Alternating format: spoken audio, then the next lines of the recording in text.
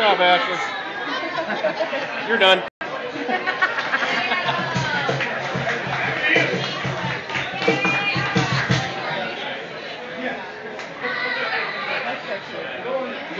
The return of Edagon.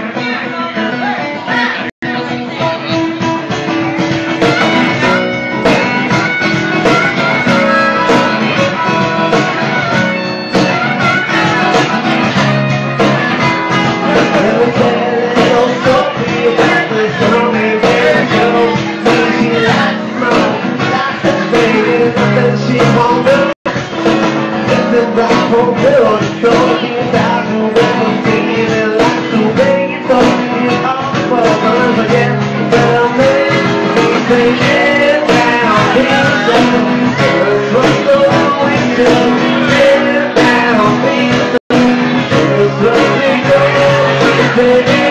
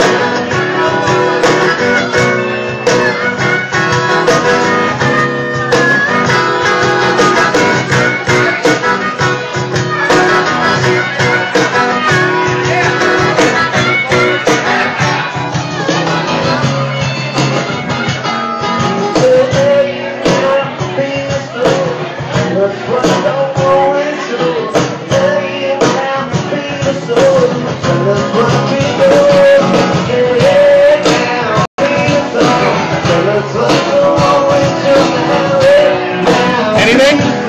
What? Ryan Palin.